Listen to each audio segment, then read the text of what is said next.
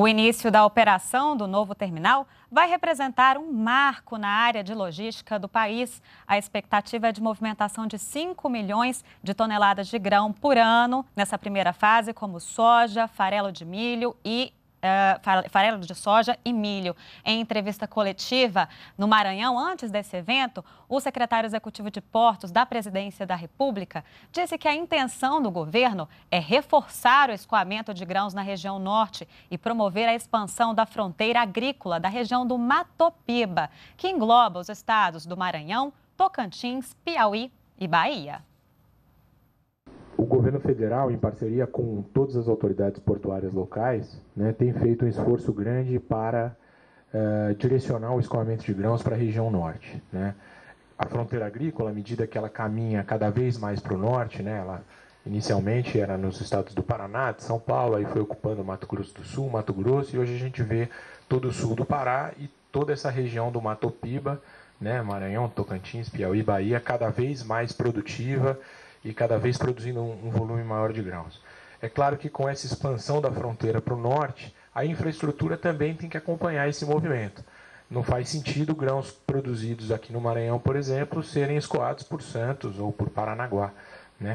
Então, todo o incentivo que o governo federal tem dado e, e tem tido uma resposta muito positiva aqui das autoridades portuárias locais é, é para viabilizar o escoamento desses grãos pelo chamado Arco Norte.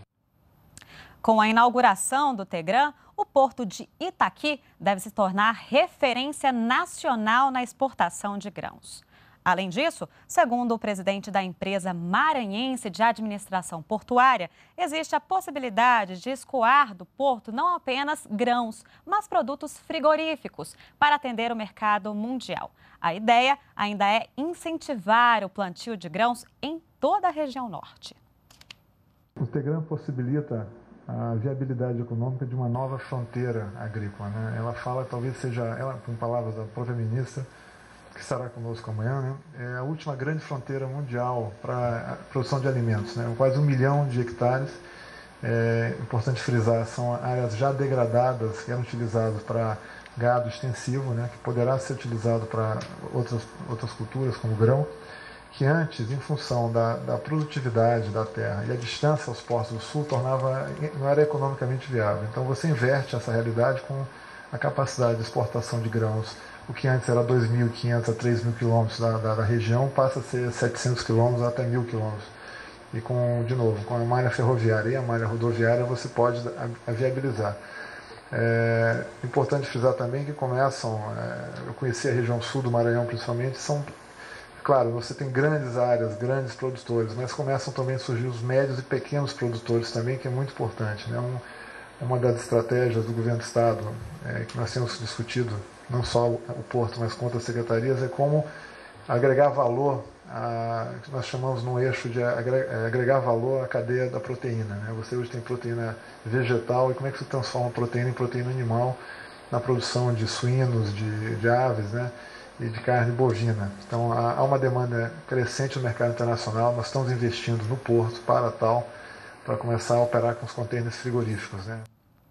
O porto de Itaqui está localizado em uma posição considerada estratégica pelos analistas, já que está mais próximo de mercados como Europa, América do Norte e Canal do Panamá. Para o presidente da empresa maranhense de administração portuária, esta é uma localização que traz vantagens competitivas no escoamento de grãos para o Brasil. Porto privilegiado pela sua localização. Nós estamos é, praticamente a sete dias a menos de viagem dos, dos mercados europeus e até dez dias de viagem dos mercados da Ásia utilizando o canal do Panamá. A EMAP, com recurso próprio, ela realizou esse ano o, a dragagem de aprofundamento, que faz parte do projeto Tegran também, pra, foi para 15 metros, algum, na maioria dos três berços, na verdade, para operar os navios Panamax, que são os maiores navios que operam pelo Canal do Panamá. Isso trouxe mais vantagem competitiva.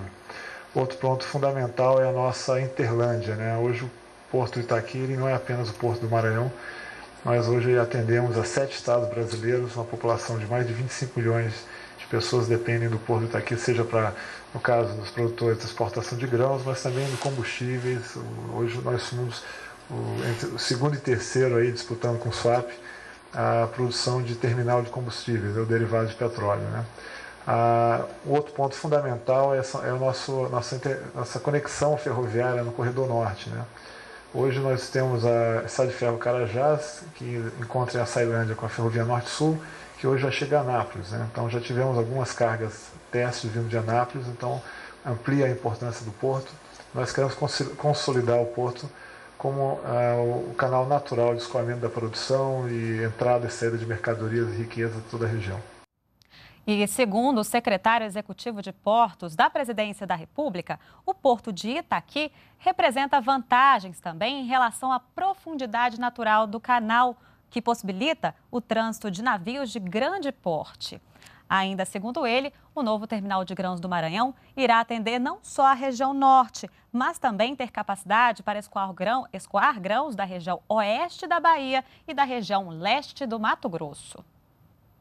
Desde Anápolis, no centro de Goiás, região produtora de grãos é, altamente produtiva, cruzando todo o estado de Tocantins e todo o estado do Maranhão. É, evidentemente que é, fazendo um, um transbordo ferroviário, rodo, rodo ferroviário, é possível também captar cargas tanto do oeste da Bahia como do leste do Mato Grosso. Quer dizer, é um corredor muito importante, é, com uma alternativa eficiente para o escoamento de grãos aqui pelo Maranhão. E eh, já que você mencionou também a questão da dragagem, uma outra vantagem competitiva, além de ser muito mais próximo do mercado consumidor, sair daqui do Maranhão e ir para a Ásia, para a Europa, para, para os Estados Unidos, que são os grandes mercados consumidores, é muito mais é, fácil, muito mais próximo do que saindo de Santos ou de Paranaguá, é, tem uma outra vantagem natural no Porto de Itaqui, que é o próprio calado natural, a própria profundidade natural. Né? No Porto de Santos é uma luta permanente para se manter um berço dragado, porque a profundidade natural do canal lá é de 8 metros. Para se ter esses 15, todo ano o ser humano tem que lutar contra a natureza para retirar lá 7 metros de sedimento.